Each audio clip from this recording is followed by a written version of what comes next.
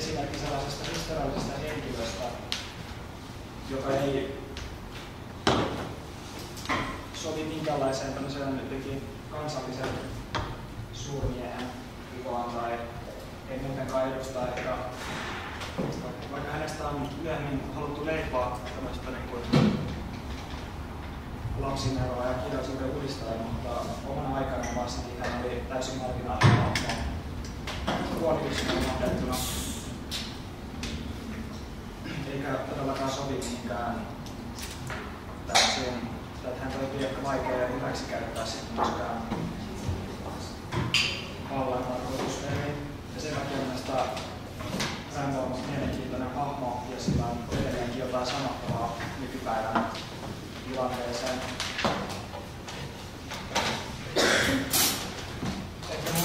impulssisia, että miksi mä halusin puhua tästä liittyy myös siihen, että mä mietin, että mitä mä olin alun perin kiinnostunut anarkismista ja ikään kuin häiriltä luennolla on ollut monia ö, luentoja erilaisista suurmerkkihenkilöistä, Bakunin ja muut tämmöiset, kun tuota anarkistit ovat olleet esillä, niin sitten haluan ainakin omalta osaltani tuoda myös semmoisen näkökulman, joka tulee ehkä toisesta tulokulman toinen, mutta, mutta myös ajattelen, että anarkismissa olennaista on se niin, niin yksilön omasta halusta nousemaan kapina Ja pelkästään ehkä niin kuin talouden ja yhteiskunnan rakenteiden tasolta lähtevä analyysi, vaan monesti se on varsinkin puhutaan runoilijasta, puhutaan taiteesta, kulttuurista, niin siellä liikkuu sellaisia ihmisiä energioita, mitä ei voi jättää huomiota, kun mietitään sitä, että miten muutetaan elämä tässä ja nyt tänään. Olen tosiaan valmistellut tässä puheenvuoroni tueksi tämmöisen PowerPoint-esityksen, joka on nyt kauniin keltaisen värinen. Antti ehdotti, että se on ajan patinaa, mutta myös tämä väri pois resonoida siihen, mitä Rambo sanoi, että erässä runossaan, että on oltava ehdottoman moderneja. Joten olkoon tämä kaunis neokeltainen väri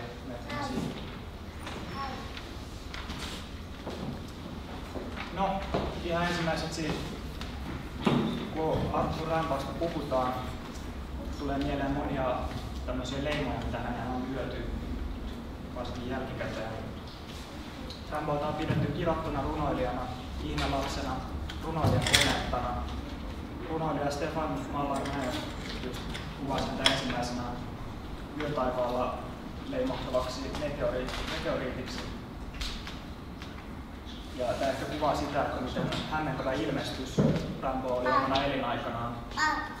Hän ei mitenkään sopinut siihen vallitsevaan yhteiskuntaan, missä hän joutui elämään. Ja vasta jälkikäteen hänen niin ajatuksiaan on ehkä ymmärtää paremmin ja hänen runoja, runoja ollaan osattu lukea. Että voidaan katsoa, että Rambosta on Rambo on monella tavalla ollut synnyttämässä modernia runoutta ja kulttuuria, modernia taidetta.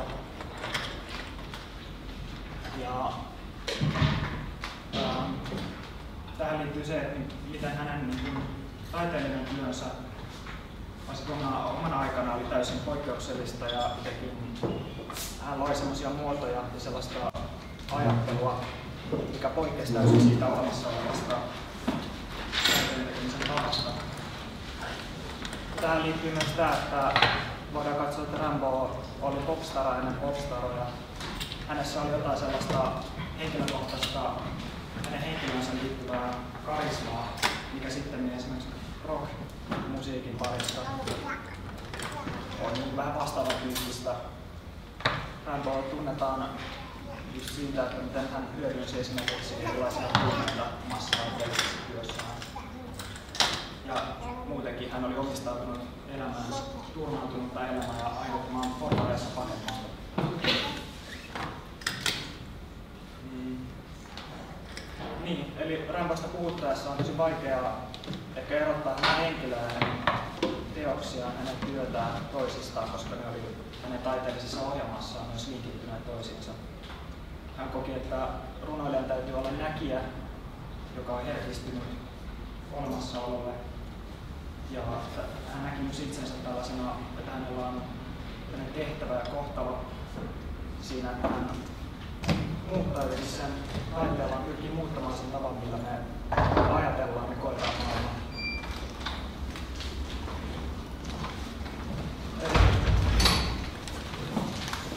Oma lähtökohtani on tosiaan se, että Arttu Rambo on meidän.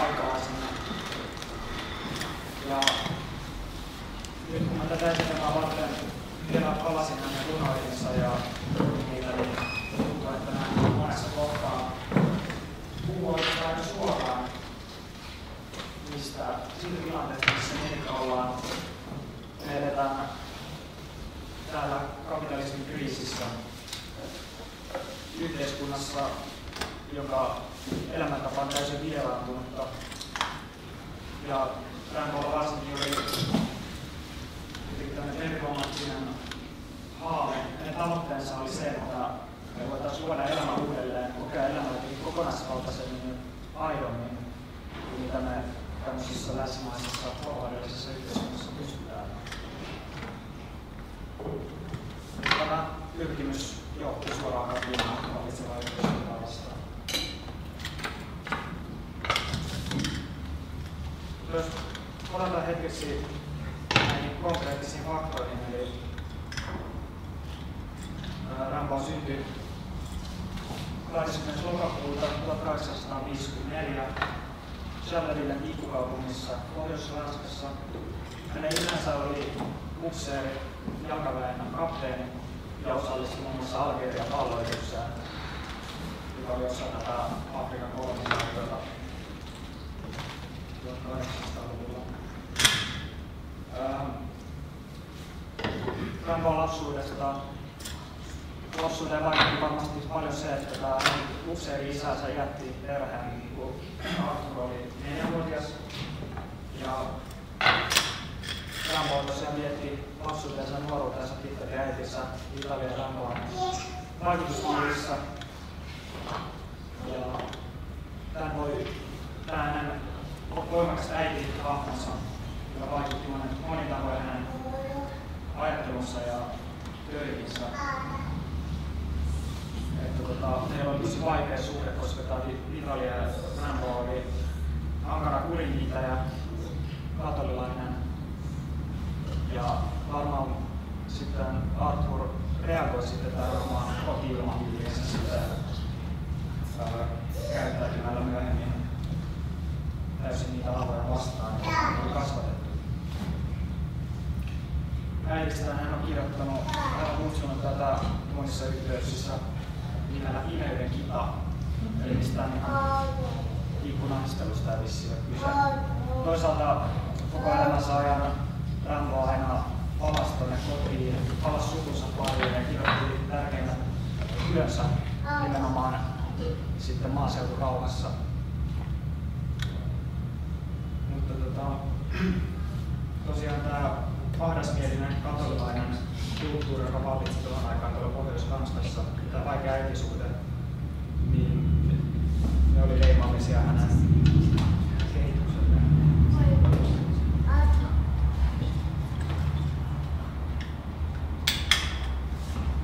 No, tässä on valokuva ää, Ramboista. Tämä on ehkä vähemmän tunnettu kuin toi, jossa on alkulehteillä nähty ikoninen kuva, mutta on sanottu, että aikalehto sanoneet, että tässä itse näyttää paljon enemmän itseltään kuin siinä ikonisessa kuvassa. Ainakin näyttää paljon nuoremmalta. Tämä on otettu vissiin 1871. Vietti Rappion Pariisissa. No, ajattelin, että voisin tähän lukea Rambon runon seitsemänvuotiaat runoilijat. Jollakin tavalla mielestäni tästä käy ilmi ensinnäkin jotenkin se hengenmaisema, mistä hän lähti, ja myös tämä äitisuhde välittyy tästä runosta. Mä oon käyttänyt tätä esitelmää tehdessä paljon apuna niin tätä pari vuotta sitten ilmestynyttä kootut teokset kokoelmaa. Hän on suomentanut Einari Aalto.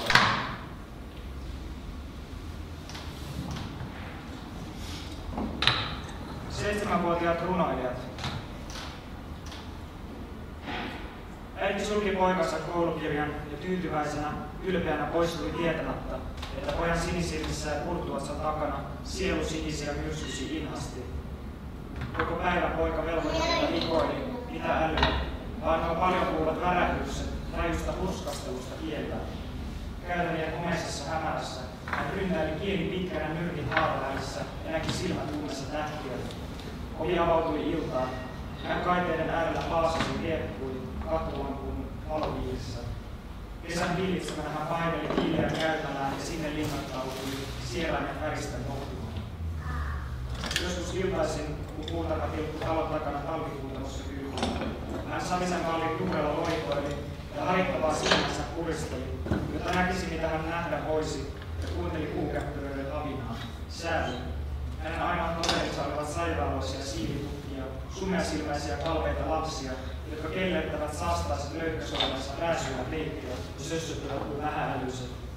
Ja jos äiti pelästyi hänen verekseltään kiinni saadessaan, poika äidin ihmetyksen ellilleen puuskaan puhutti.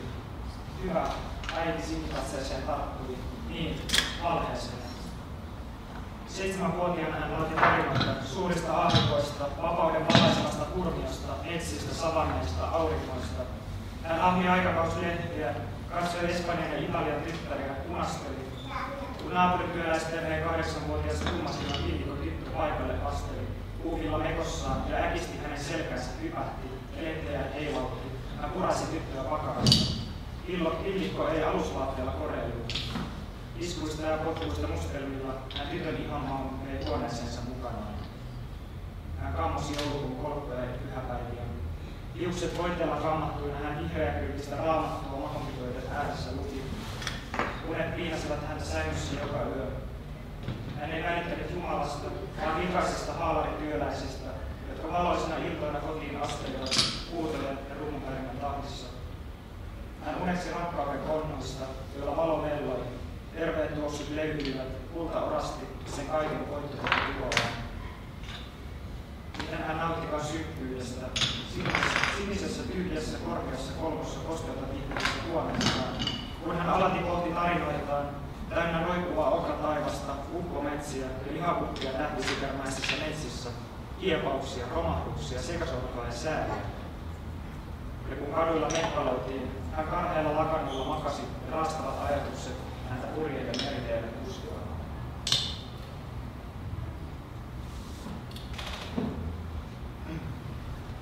Eli tässä runossa jollakin tavalla näkyy sinne liike siitä hänen lähtökohdastaan, hänen arkisesta elämästään täällä kodissa, missä hän joutuu teeskentelemään.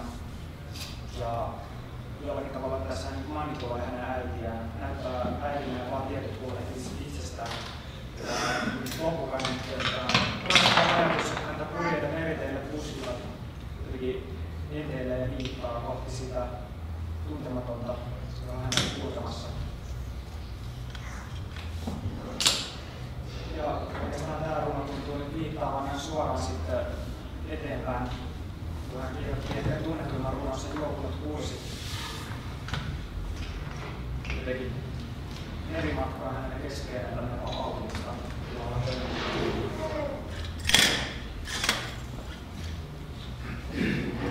No, runoilijana hän vaati ensiaskeleessa kouluikäisenä Silloin hän kirjoitti latinaksi ja ranskaksi niin klassisia runoja. Hän oli koulussa todella lahjakas ja todella kuulijainen oppilas. Ja hän otti vaikutteita muun muassa Victor Hugo'lta, joka oli aikanaan juhlittu kirjailija. Ja tämä hänen ensimmäinen runonsa, joka julkaistiin kirjoituslehdessä vuonna 1870, Orpo lahjat, lainaa paljon Hugo'lta. Ja on ehkä ehkä havaittavissa tämmöistä niin kuin, moralistista sosiaalisten olojen ää, kritiikkiä. Oikeastaan hänen niin kuin, se, mikä merkittävä niin alkusysäys oli hänen runoudelleen, oli se, että hänen, koulussa tuli opettamaan tämmöinen Georges Isambard, joka ää, oli niin kuin tämmöinen kaupunkilainen tuulahdus täällä Charlevillen muuten aika ahdasmielisessä ympäristössä.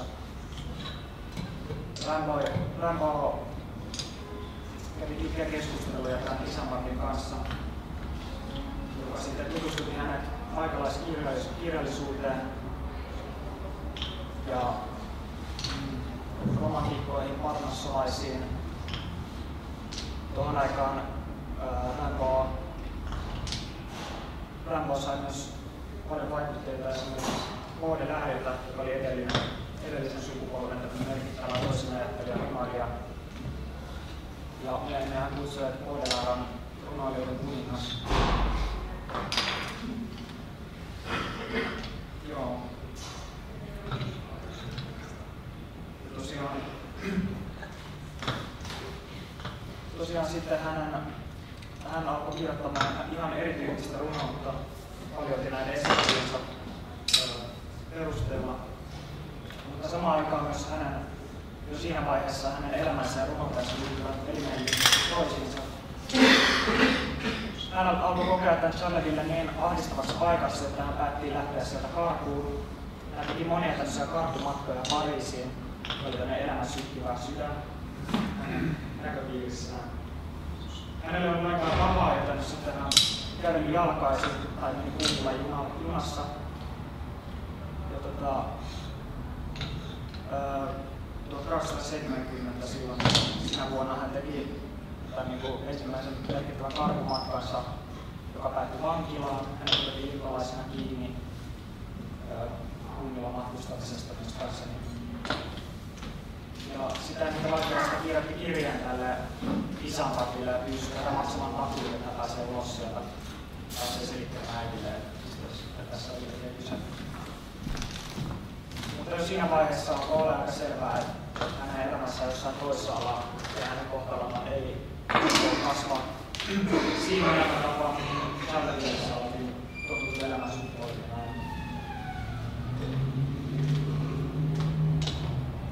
No,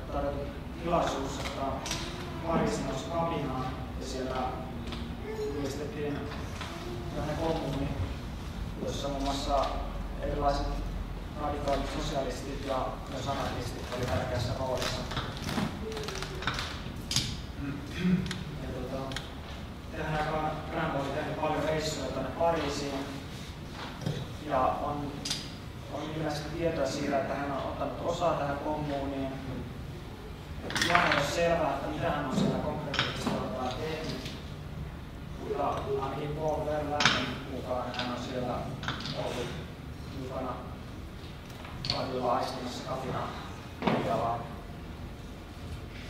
Ehkä jos lukee hänen, hänen sitten tuon aikaisia kirjoituksia, niin niistä kyllä sitten välittyy nämä ajan yhteiskunnan ilmapiirikin, että hänen runossa on keisarivallan pilkkaa, sotaa siellä monessa ilahtaa ja myös tämmöistä niin byrokratiaa Ankarasti, tasavaltalainen, hänen kommunaali sympatiansa hänen runoistaan. Hän missä ylistää muun muassa vallankumoussotien Suomen Ranskan vallankumouksen ja siitä seuranneiden vallankumoussotien painajia muun muassa ylistää. Monissa runoissaan hän hyökkää tämmöistä porvarillista tekopyhyyttä, oman edun tavoittelua, teeskentelyä vastaan. Ja tämä jotenkin myös liittyy siihen, että, että jossakin hänen runassaan on jotenkin jonkinlaista naisvihaa, mikä osittain liittyy siihen hänen äitiään kohtaan tuntemaansa vihaa, ja hän yleistää sitten naissukupuoleen yleensä. Toisaalta tämä on vähän ambivalentti juttu, koska jos jos ja hänen runoissaan hän sitten taas samastuu vahvasti naisten alistettuun asemaan. Myös toisaalta tämmöinen misogynia luututon ja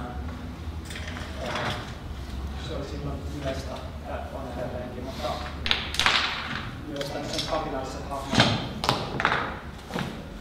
sortuvat siinä.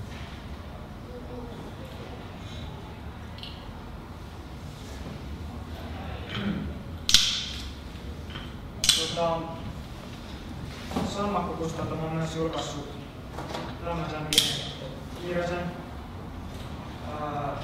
kirjeitä Afrikasta ja runoilijakomeita kirjeitä, jossa on Rampon kirjeenvaihtoa.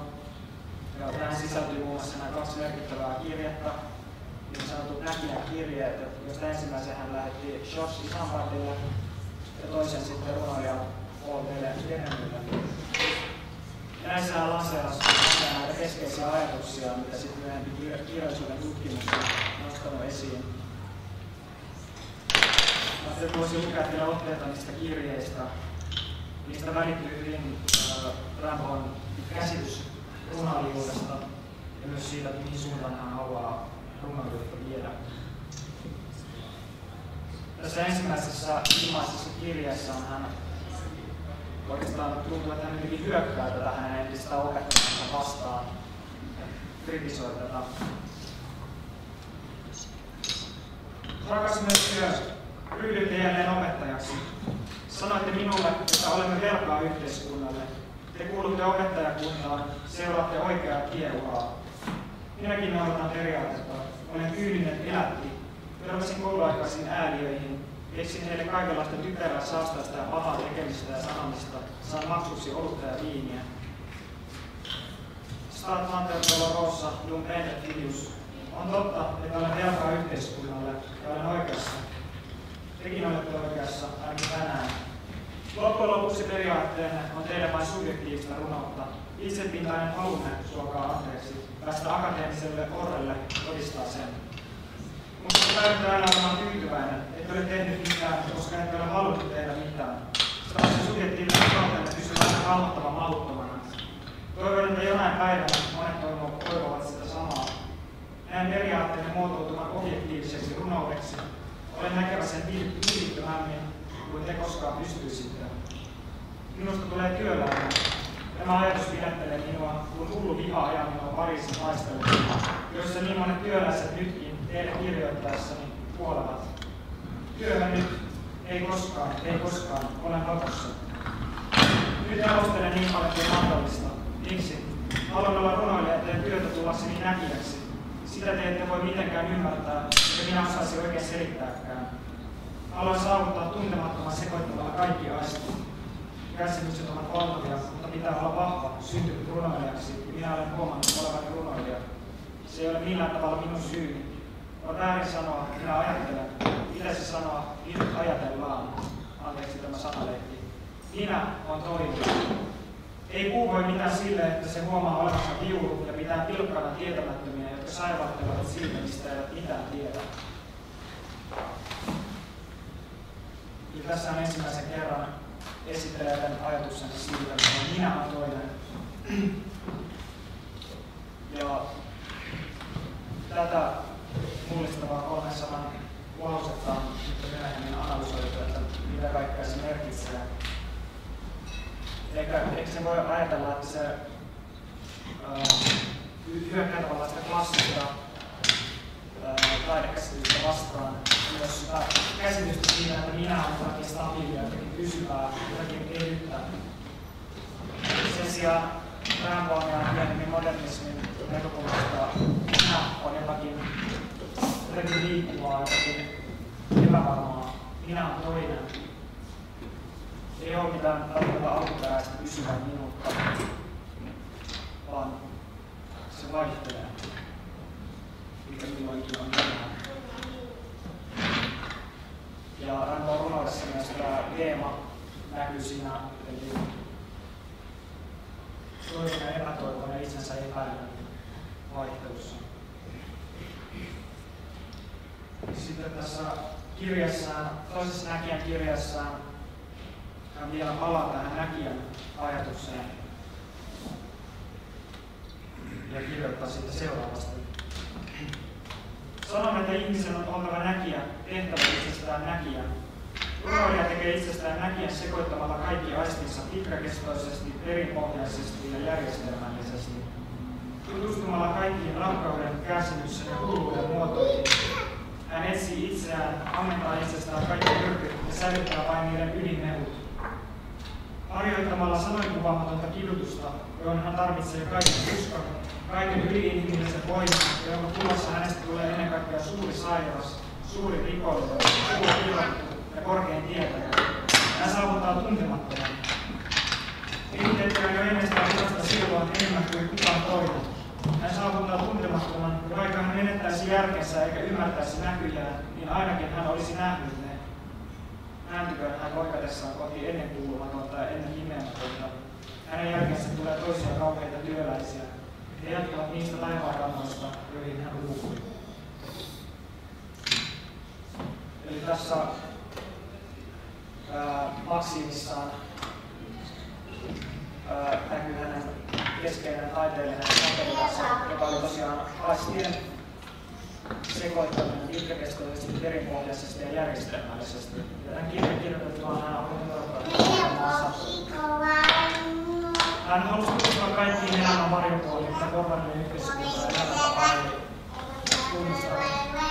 Hän ajatteli, että kurinalaisella päihteiden käytöllä hän pystyy herkistämään itsensä sellaisille niin olemisen avoille, semmoiselle, semmoiselle näkemisen avalle, jota ilman sitä ei pysty saavuttamaan. Ja tämä tehtävä on tietysti hyvin itse itsensä pelitäynnä.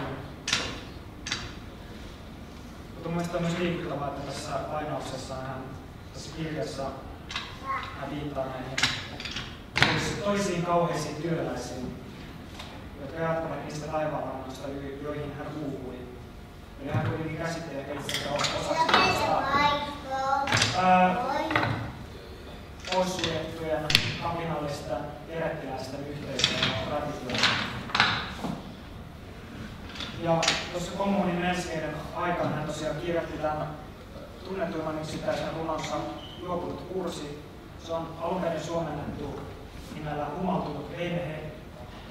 Sitten se on äh, sitten 90-luvulla Einari Aaltonen alun perin suomensi sen nimellä Känninen, Känninen Paatti. Ja nyt sitten tätä kokoelmaa varten se on käännetty nimellä Juopun Kuusi. Eli näitä versioita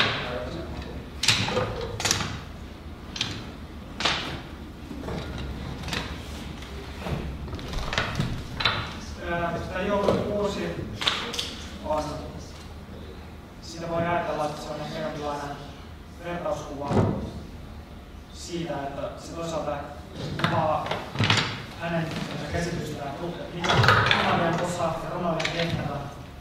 Se on myös matka minuuteen. Se kuvataan matkalla, että tämmöinen hylätty vene tekee ilman miehistöä. Millaisia ihmeellisiä maisemia se päätyy tämä vene. Mutta se on huomattavaa, että miten tämä runo loppua alkaa niin kuin usko siihen näkyy heikkeneen. Ja lopussa se näkyy jo karissun pois.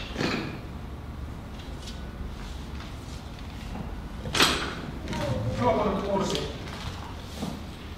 Liittaamattomia jukia alas kuljen, lautturit olivat nyt hylänneet. Tuo ulvovien punanahkojen maalitaulut, jotka alastomina väripaaluihin naulattiin. En perustanut miehistöistä, en viljasta flaamin, enkä puuvillasta englannin. Kun lauttureista ilo oli irti saatu, annoin kirnan viedä minua minne halusin. Minä myllättävässä aallokossa viime talvena korvat tukossa kuin lapsella viirelin. Ne niemimaat vailla kahleita, ankkureita, intoutuivat uimaan hoitoon metakkaan. Myrskyn merivalveeni siunasi, kevyempänä kuin korkitassin laineilla, joita ikuisiksi uhritusenlajiksi kutsutaan, kymmenen sokeaa yötä ilman yhtään loistoja. Makeampana kuin on lapsista hapavan omenan malto, vihreä vesi kuusikuuseen runkoon valui, minut oksennuksesta ja huokeasta kiinnistä se kesi, ja iskoi teräsintä ja ankkuria. Toisinaan kylvin veren runossa, tähtihauteisessa mainossa, vihreä sineä ahmi. Siellä huukunut korteessa haikui kuin kelmeä ajopuu. Siellä sineys pilkahti, koureet palohämyssä imalsivat vahvempina kuin alkoholi, ylhempinä kuin lyyra. Siellä rakkauden kitkeä puna kuohahti. Tiedä salamainen halkoman taivaan, hyödyt, virtaukset ja vellon, tiedä tilan hämy, aamun koiton kuin kyyhkystävän hurmion. Olen nähnyt, mitä uskoo nähneensä ihminen. Olen nähnyt laskevan auringon oudon kauhun, sinipunaisena leskua taivas kaistaleet, kuin ikivanha näytelmän komeliantterin valon kimmeltävän hyvähtelevän aaltoihin. Vihreässä yössä uneksi lumen hohtamaan, suudelman meren silmin hitaasti kokoamaan, tuntemattomien mahlojen kierron, fosforilaulujen sinikeltaisen vireyden. Kuukausimäärin mainingeilla vyöryin, riuttoja kuin hysteerisiä vetoja uhmasin. En arvannut, arjan sedehtivät jalat tutkivat luohottavan meren turvan.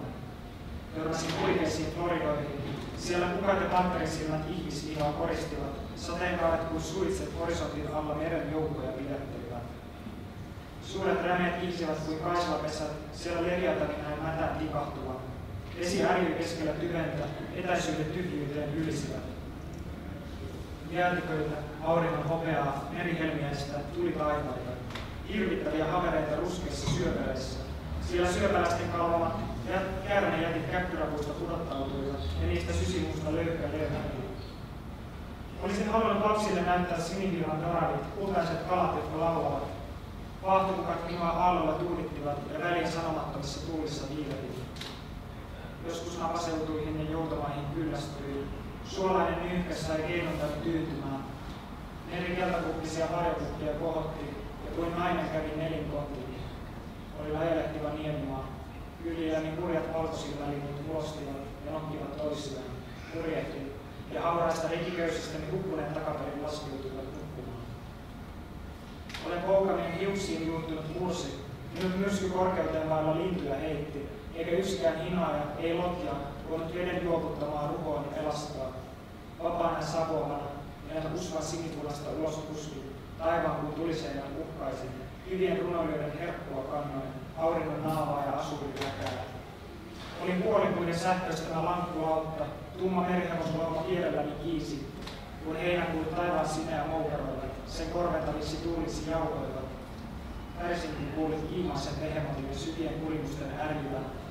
Minä sinisten tyventen ikikehrää ja vanhan Euroopan varustuksia haikailen. Olen nähnyt tähtien saaristot ja saaret, joiden pohjattavat merimiehiä kutsuvat. Karkotettuna yön pohjassa nukut sinä kultalintujen miljoona saapuva voima. Liikaa olen itkenyt, sarastukseen pakahtunut. Kaikki puut ovat julmia, kaikki auringot karvaita. Kimpelä rakkaus minun horrekuvalla vuodatti. Haljetkoon pölini, tahdon merelle. Euroopan, jos haluan, se Euroopan malli, johon illan tuoksuvassa hämyssä murheellinen lapsi kuuden kaukana kuin toukokerran laskee liumaan. Laukeudessani olen kylpenyt alla. En enää huvilla alusten vanavedessä voi viilettää.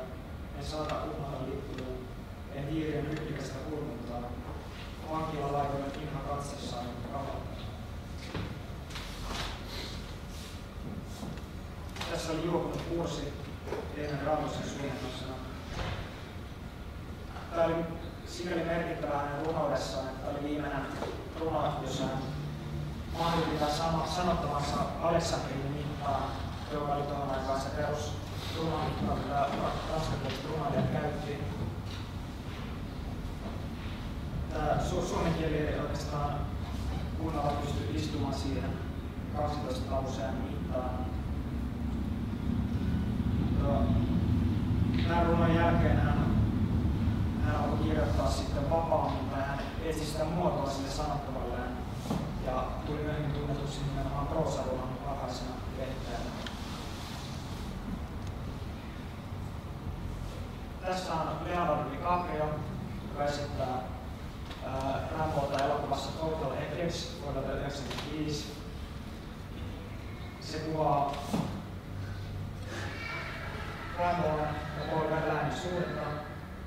Tässä on historiallista kuvamateriaalia.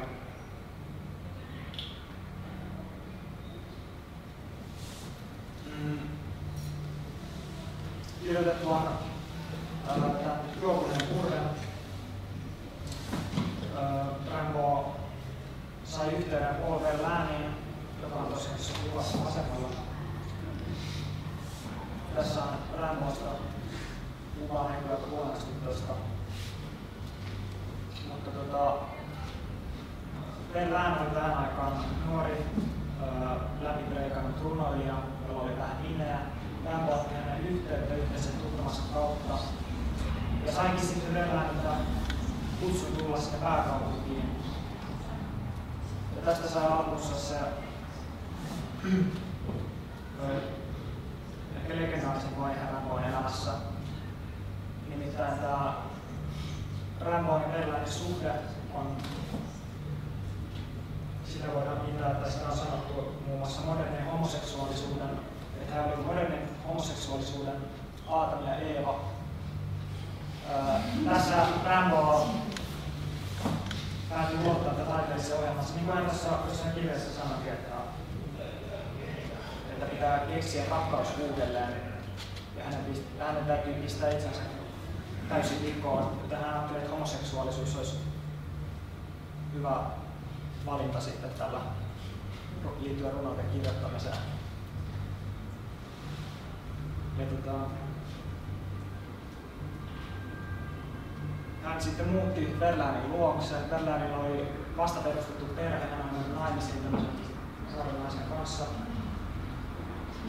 Niistä seurasi sitten paljon surua ja hankaluutta myöhemmin.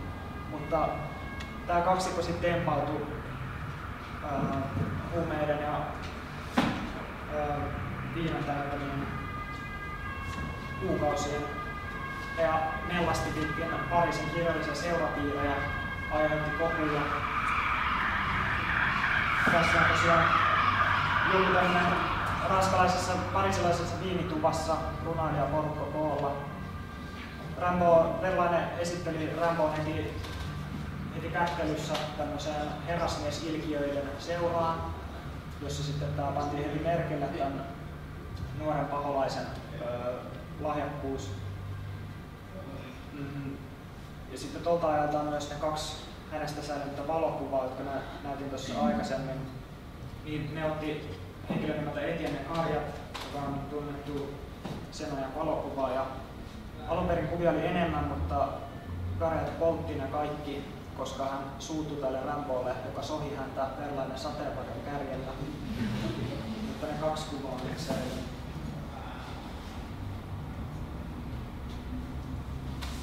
Joo.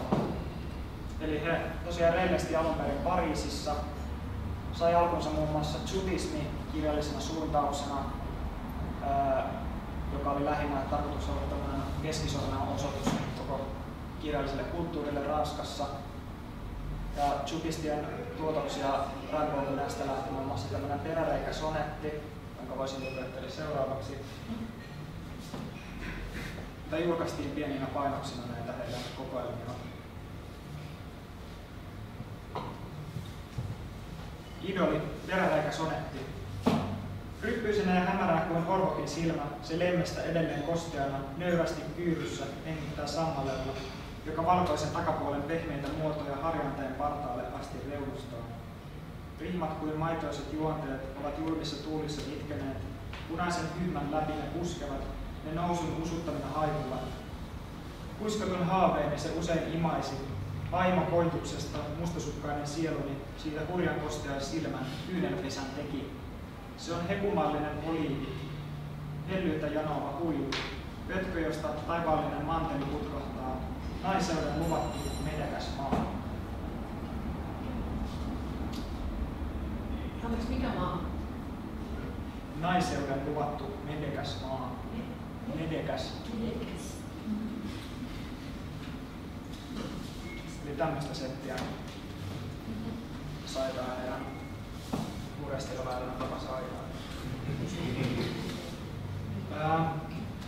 no sitten tää, tota, se on ihan ymmärrettävää, että tämmöistä elämää oikeastaan sitä kestä pidemmän päälle kauhean paljon. Rämpön oli lähdettävä Pariisista, hän palasi sinne Pohjois- Pohjois-Ranskaan sukunsa luokse. Ja kirjoitti sitten tähän aikaan tämän käsikirjoituksensa Kausi helvetissä, jossa hän sitten kehittää proosarunon muodon. Se on aika viimeinen henkilökohtainen tilitys, missä käydään läpi muun muassa hänen suhdettaan tähän Verlaineen. Ja kirjoitettua tämän, hän on jo päättänyt erota Verlainista lopullisesti hän palasi Pariisiin ja oli viemässä kirjettä tälle, tällaista jäähyväiskirjettä Verläänille.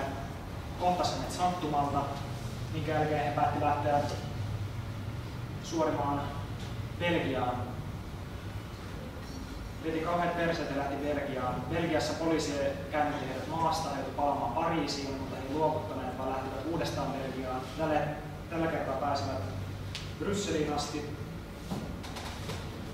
ja Brysselistä ää, aikansa riemuttuaan he sitten päätti siirtyä kanaalin Lontooseen,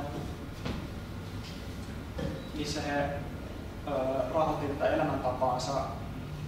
Ainakin pyrkimyksenä oli opettaa ranskaa.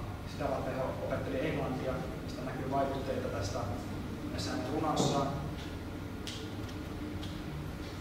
Sitten Rämpää lähti käymään Pohjois-Ranskassa palasi kuitenkin jonkin ajan päästä takaisin Lontooseen, missä Vellään oli hyvin itsetuhoisella ja yksinäisellä tuulella. Ja riiteli tosi paljon. Siellä Lontoon ajalta on muun muassa välikohtaus, missä Vellään on ää, suutuspäissään lyönyt Ramboota kalalla. on epäselvyyksiä, että onko tämä ollut su- ää, makrilli vai suolasilli. ja tota, sitten heidän välisensä skisma sitten päätyi semmoiseen ampumavälikohtaukseen 10. heinäkuuta vuonna 1973. Tapahtui sitten muistaakseni Belgian puolella, missä tota, Rambo oli taas kerran kertonut Verlaanille jättämänsä tämän, mistä suuttuneena Verlaan otti aseen ja pistoolin ja ampui Rambolta vasempaan käteen. Ja tämä sitten johti siihen, että Verlaan joutui vankilaan, missä vietti pari vuotta rauhoittumassa. Ja sillä välin Rambo jatkoi kirjoittamista. Ja tässä on kuva siitä ampumailikohtauksesta. Siinä on Leonardo DiCaprio, jos ajattelin nimeä muista.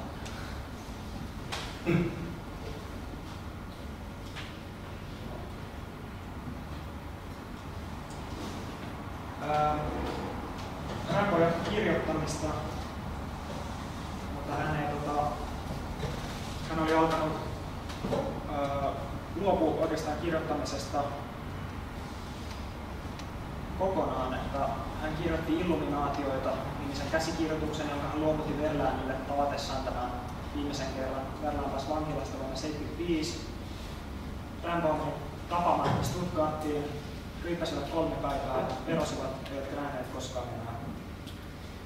Verlain myöhemmin toi sitten julki Illuminaatioita, jotka julkaistiin osa niistä romaista vuonna 1986. Tuohon aikaan Rambo oli 21 lopettaessaan kirjoittamisen kokonaan. Tietysti sen jälkeen hänen elämässään kirjoitti ainakin jonkinlaisia tieteellisiä artikkeleita, koska hän alkoi viettää todella vael, vaelluselämää. Hän oli töissä oikeastaan ympäri maailmaa. Vietti aikaa Ruotsissa, sitten pestautui Hollannin kauppalaivastoon, meni Jaavalle, karkas laivasta, hankkiutui takaisin Eurooppaan kierteli jalan Keski-Eurooppaa, oli töissä Kyproksella, päätyi Jemeniin ja näinä vuosina hän keskittyi tekemään töitä. Hän teki täydellisen irtioton siihen aikaisempaan elämäänsä. Hänen tärkeimmänä tavoitteenaan oli tehdä rahaa. Ja tässä puuhassa hän sitten päätyi tosiaan Harariin, Afrikkaan, missä hän alkoi kaupata aseita kaupaksi siellä. Hän osti säästöillään sata vanhaa kivääriä ja lähti karavaanin kanssa kauppaamaan niitä afrikkalaisille soturipäälliköille. Ja sitten siitä myöhemmin liikkunut huuja, että olisiko hän myynyt myös orjia, mutta ilmeisesti kuitenkaan ei itse myynyt niitä. Hyödyisi kyllä orja. Eli täydellinen elämänmuutos. Tässä on kuva hänestä Hararissa. Hän on elämänsä puolella Hararin kauppa-asemalla, mihin hän sitten jäi pysyvämmin hoitamaan bisneksiään. Sitä on myöhemmin mietitty, että, se hänen, että hän päätti lopettaa kirjoittamisen, että hän koki niin, että hän koki epäonnistuneen, epäonnistuneensa kirjoittajana hän koki, että hän pystynyt jatkamaan tätä vimmaista työtään, se kulutti häntä liikaa. Että hän teki täyskäännöksen, mutta sittenkin hän oman terveytensä kustannuksella jatkoi tätä liikkuvaista elämäänsä. Tuolla Hararissa hän alkoi vaivaamaan jalkakivut ja sitten ja viimeinen on pitkälle edennyt kasvain siellä jalassa. Hän joutui menemään Ranskaan hoitoon, mutta se ei onnistunut ja hän kuoli Marseillessa 10.11. vuonna 1991 pari viikkoa 37-vuotias syntymäpäivän sen jälkeen. Ja hänen siskonsa oli siellä paikalla, kun hän kuoli. Siitä on niin sellainen legenda lähtenyt liikkeelle, että kuolivuotellaan hän olisi kääntynyt kristityksi, pilkattui Jumalaa koko elämänsä. Toisaalta ainakin se tiedetään, että kuolivuotellaan hän hoki arabikielistä lausetta, Allah on antelias. Että ei ole ihan varmaa, että mihin Jumalaan hän sitten päättää uskoa kuolivuotellaan.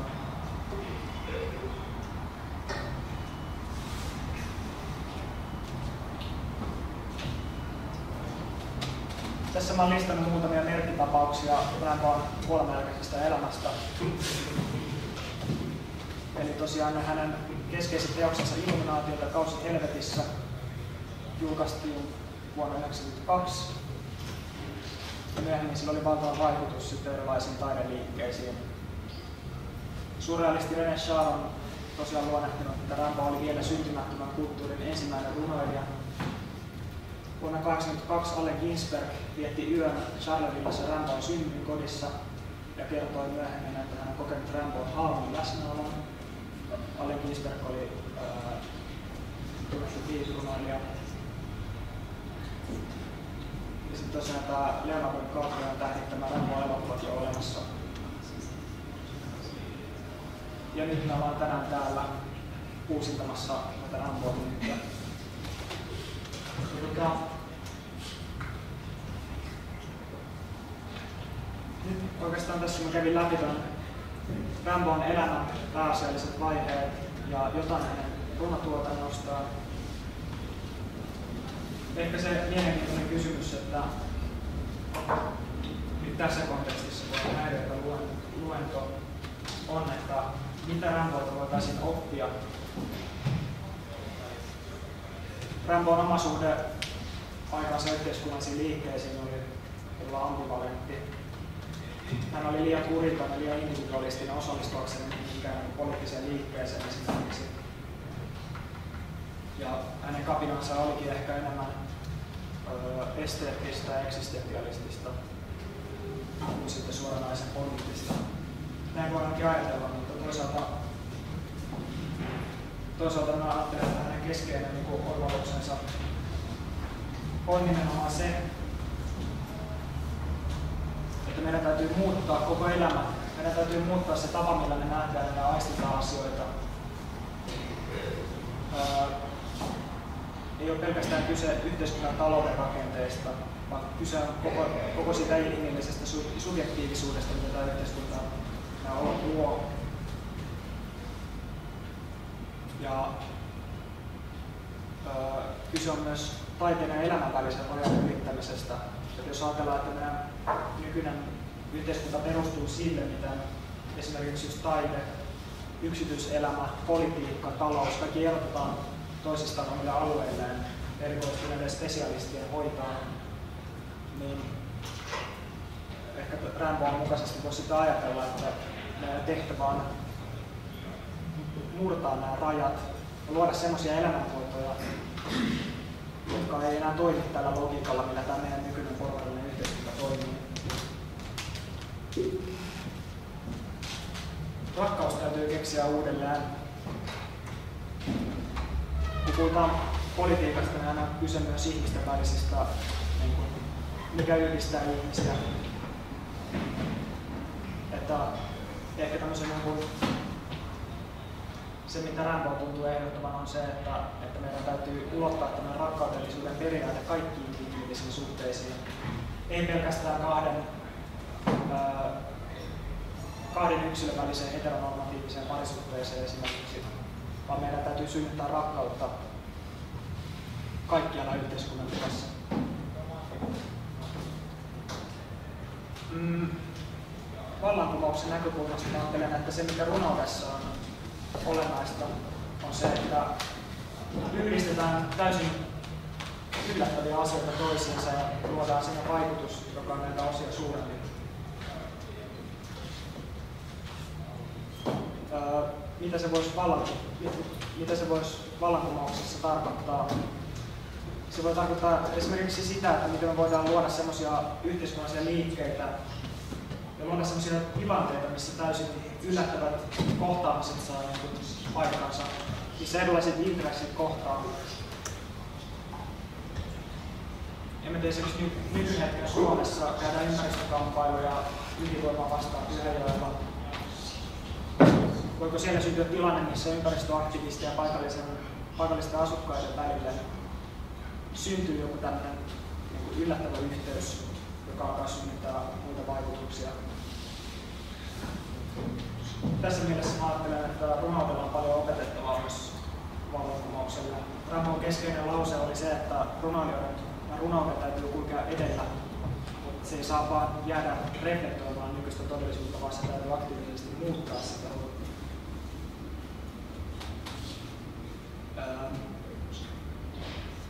Sitten ajattelen tässä Ramboon kohdalla paljon halun politiikkaa, koska Rambo on kaikessa nuoressa kapinallisuudessaan ja tämmöisessä paheellisuudessaan todella haluttava hahmo. Siinä on jotain mistä me voin semmoista säteilyä, mikä ei, säteilyä ja karismaa, mikä vetää puoleensa, mikä tyhjää. Mä ajattelen, että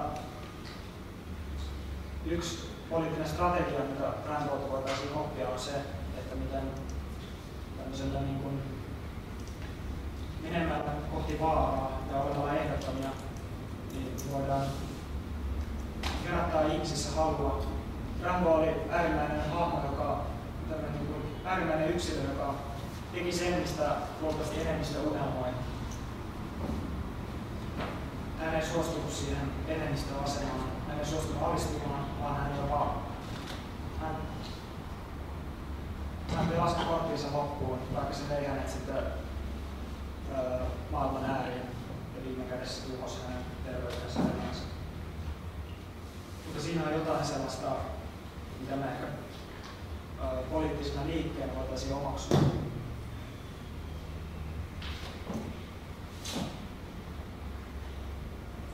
Tässä on tämmöinen neenikuva, joka ehkä ilmaisee sen, että mistä muun muassa tuossa on kysymys.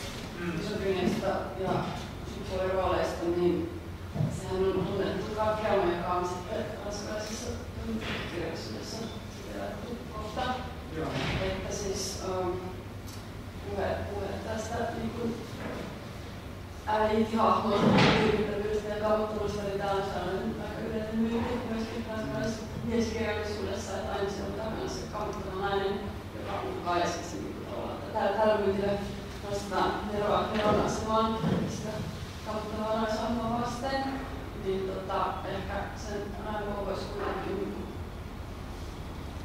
irrottaa siitä tutkimustraditiosta ja miettiä enemmän sen kuivyyden tai millä tavalla olisi mun mielestä kiinnostavampi nykypositiosta tai kohdista. Onko sulla toistaiseksi missä kohtaa se on määrittelyä? En muista, mutta se on. Mitä, Eikö sä muista missä kohtaa se on? Thank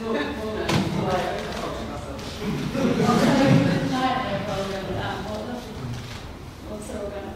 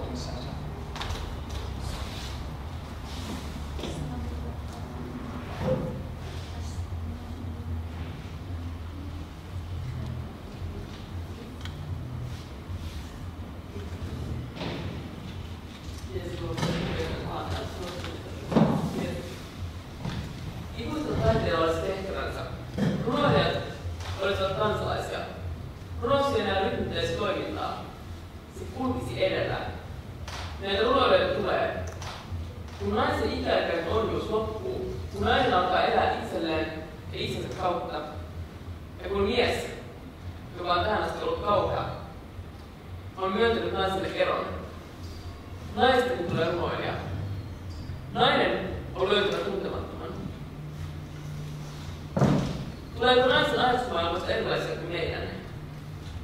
Nainen on löytää kummallisia, tutkimattomia, innoittavia, ihania asioita. Sitten me tartumme niihin, ymmärtämme ne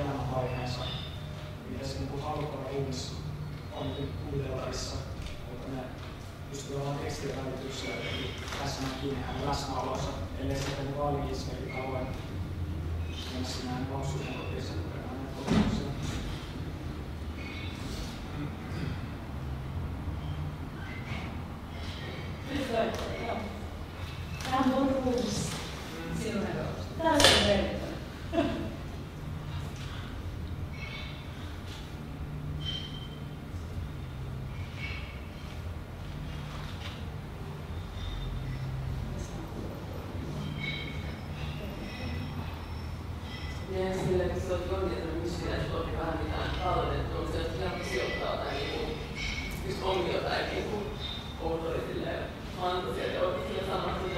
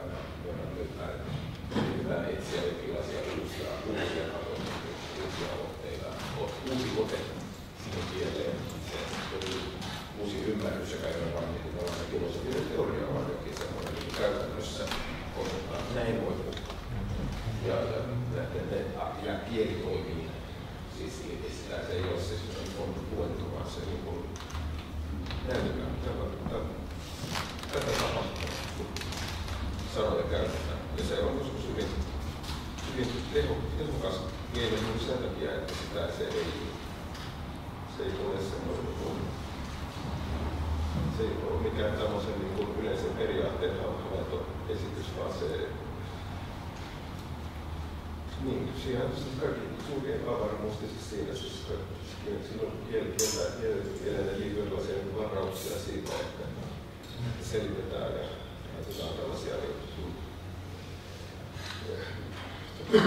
niin,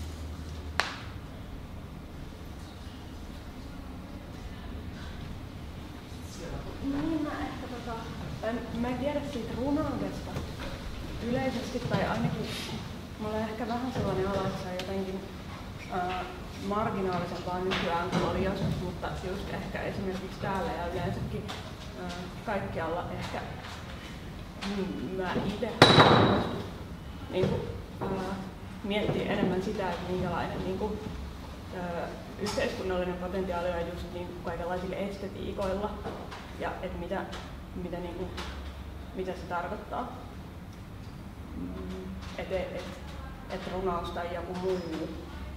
Mutta niin. Siinä se.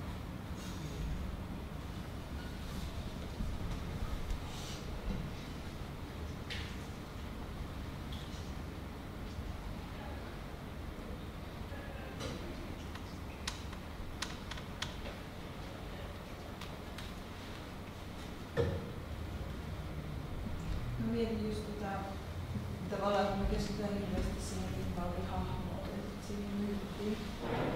Tämmöinen vähän niin kuin tätä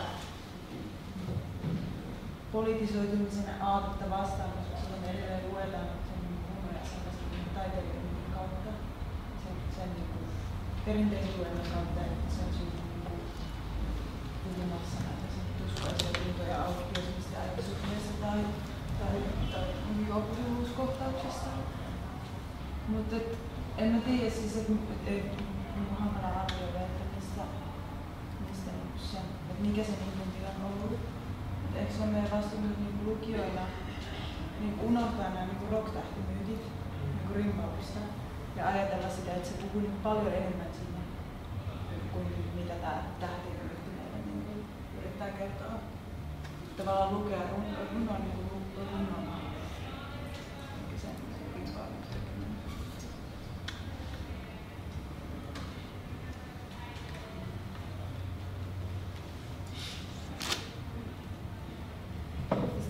kuin se, tai mikä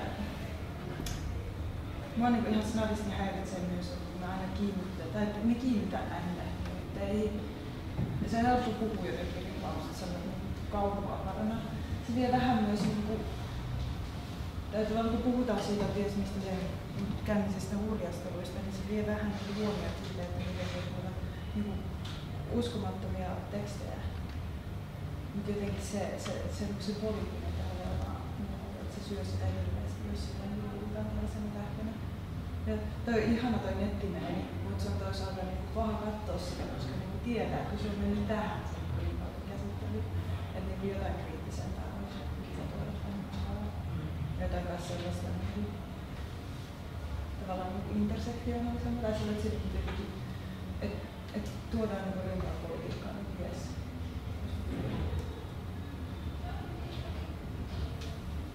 Joo. Mm. Niin kuin ehkä se ää, tämä esitys tässä niin jotenkin yleisellä tasolla käsittelee ehkä sitä ilmiötä tai jotenkin sitä josta se niin kuin, jotenkin se kaikki, niin kuin, että minkä läpi meidän Rambo-kuva suodattuu, asioita sieltä niin kuin nostetaan. Että, tota, mm, olisi mielenkiintoista tietää, että jos yleisössäkin on niin kuin ihmisiä, jotka on perehtynyt Ramboon, että mm, millaisia erilaisia luontotapoja on niin kuin, ehkä niin kuin elää vaikka kirjallisuuden tutkimuksen tai piirissä enemmän. Tai, niin. Mäkin olen samaa mieltä siitä, että se, niin kuin, siinä on joku sellainen jännä dynamiikka sen Rambon hahmon ja sitten sen itse tekstien välillä.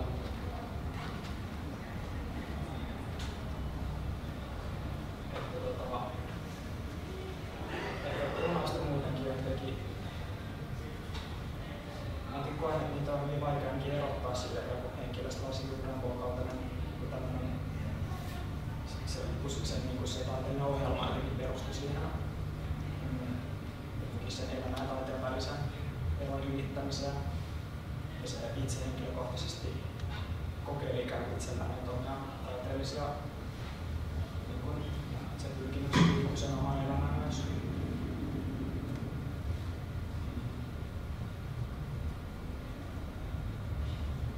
Tavallaan jos puhutaan anarkistisesta ajattelusta, niin eikö, eikö nimenomaan niin että okei, että on se merkitys tietää, miten sitä on jossain tutkimuksessa käsitelty ja näin. Itse asiassa toi on siis aika klassinen toi juttu, mikä tuossa tulee toisessa, joka itse asiassa sopii siihen suurmiesparadigmaan tosi hyvin, koska sitten niin kuin Aalto sanoi mulle äsken, että sit se vielä loppuu sillä, että se lähtee vallottamaan Afrikan ja, ja tarttuu aseisiin ja tämä niin sopii tosi hyvin siihen myyttiin. Että se on niin tämä klassinen juttu. Mutta sitten, mutta silleen niin kuin, mä sanoisin, että niin kuin, miksi sitä voi, tai siis sitä luota itseesi, että jos sulla se, tai siis silleen, niin kuin, että siitä voi olla tai niin kuin säkin sanoit, että, niin kuin, että, että jos nyt sä, minut sanoo sulle jotain, niin, niin eikö niin pitäisi lähteä liikkeelle siitä? Totta kai heti kun on luentosarja, niin sitten tulee sellainen olo, että pitää tehdä, tehdä joku sellainen niin kuin yleisesitys. Mutta mikä se yleinen on? Ei sitä ole olemassa ilman sitä jotain niin kuin sun luentaa. Että et niinku, tavallaan niinku auktoriteetti, uskoisuus ei saa, tai siis niinku, eikö se olisi niinku lähtökohta, että ei tarvitse etsiä sitä auktoriteettista luentaa, vaan niinku, mihin liittyy myös se nerosmyytti, koska se on auktoriteetti, on se auteur, on se tekijä, johon uskotaan. Niin, ehkä mun tässä luennossa on se, että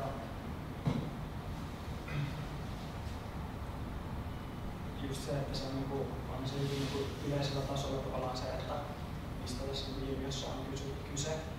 Ja nimenomaan ehkä tässä niinku, se, se mistä niinku itsellä on reflekttivissä, että niin sen tekstit, että pääsee jotenkin jossain niinku tilanteessa jotenkin kuultaviksi. Et se on niinku se, ja tässä nyt oli, on toisaalta ajatuksena toisaalta se, että tämä ilmiön valottaminen on ehkä niin kuin hyvin, hyvin yleisellä tasolla, mutta kuitenkin siten, että, että jotenkin se ihmisille, joilla ei välttämättä ole niin tosiaan se käsitystä tämän puolesta muutenkin se, että minkälaisen ilmiön kanssa on tekemisissä. Minusta on hyvä pointti, että se niin mun oma henkilökohtainen lähtökohta ja mikä se mun kosketuspinta siihen, se on niin kuin hyvä kritiikki siitä. Mm.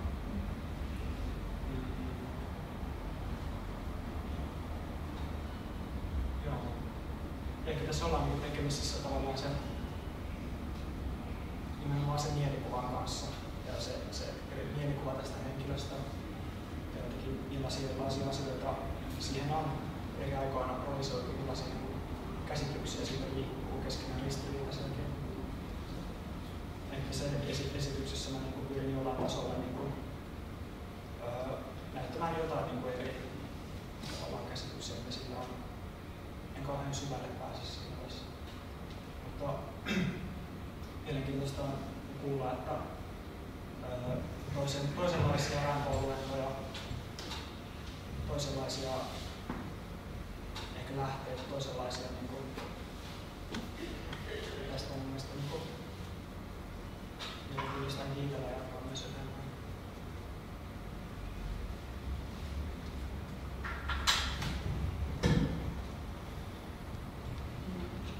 Onko teillä itsellä jotain lempirankoa Jumalaa esimerkiksi, mitä haluaisi kuulla ääneen?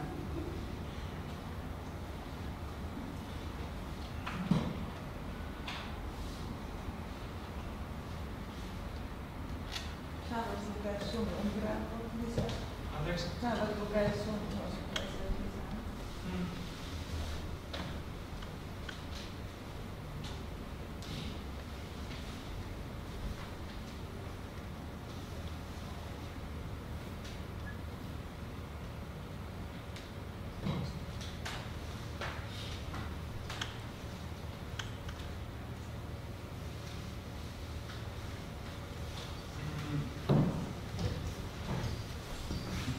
Mun kun, ehkä voisin tähän loppuun lukea tämän, tota, tästä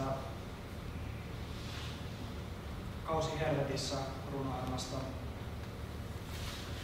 Mistä on mielenkiintoinen hetki tässä runoilmassa ää, tekstissä nimeltä Houreita, kaksi sanan alkemia, missä hän niin hyökkää itseään vastaan jotenkin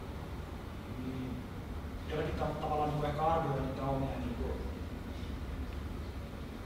sitä aikaisempaa, että miten hän on päässyt tähän pisteeseen omassa runoudessaan ja mitä omia niin kuin, keinoja on, mitä on kokeillut ja käyttänyt. Se on mielenkiintoinen piste tässä runoilmassa, missä hän kääntyy katsomaan itseään.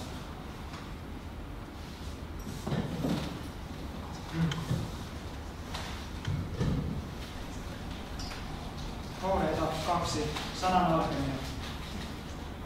Minun vuoroni, kertomus erästä hulluudestani. Olin jo pitkään väittänyt, että minulla oli kaikki mahdolliset maisemat ja halveksin nykyajan taidemaalareita ja runoilijoita.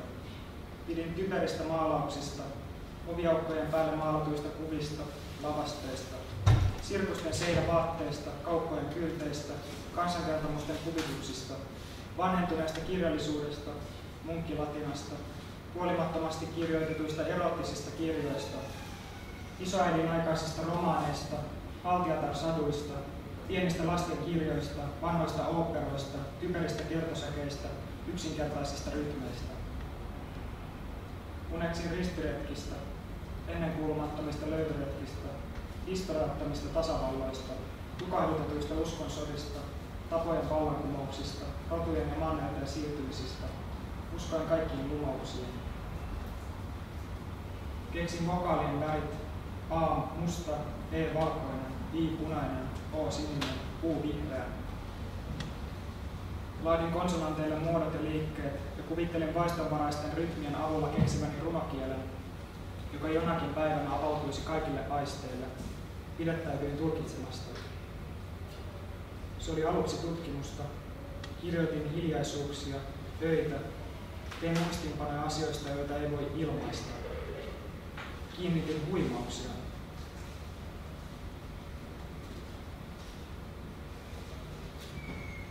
Mm.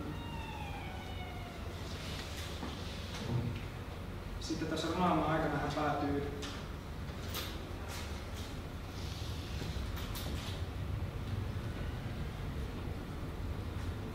päätyy sitten seuraavaan. Minusta tuli satumainen opera. Näin, että kaikki olennot oli tuomittu onneen. Toiminta ei ole elämää, vaan tapa hukata voimaa, ärsyyntyä. Moraali on aivojen heikkoutta. Minusta jokaisella olennolla oli monta muuta elämää ristinään. Tuo mies ei tiedä, mitä hän tekee. Hän on enkeli. Tuo perhe on koirapesua. Puhuin monien ihmisten kuulen johonkin heidän aikaisempiin elämiinsä kuuluvan hetken kanssa. Niin rakastuin sikaan. En ole unohtanut ainuttakaan hulluuden, sisimpäämme suljetun hulluuden hairahdusta. Voisin toistaa ne kaikki, hallitsen järjestelmän. Terveyteni oli vaarassa, kauhu valtasi alalla. Valvoin useiksi päiväksi uneen ja herättyäni näin kaikkien surullisimmat unet. Olin valmis kuolemaan ja heikkouteni johdatti minut vaarojen tietä maailman ääriin ja Kimmerian varjojen ja tuulispäiden syntysijan perukoille. Minun oli matkustettava, häivytettävä aivoihini kerääntynyt urmos. Näin lauletaan ristin nousevan merestä, että rakastin kuin se voisi pestä minut saastasta. Sateenkaari oli tuominut minut kadotukseen. Onni oli kohtaloni, syyllisyyden tuntoni, matoni. Elämäni olisi aina liian valtava omistettavaksi voimalle ja kauneudelle.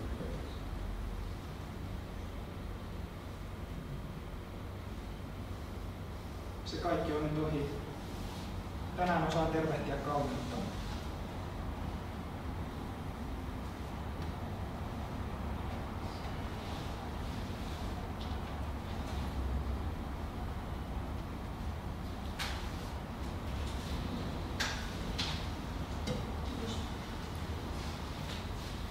Jos ei ole muita kommentteja tässä yleisesti jaettavaksi, niin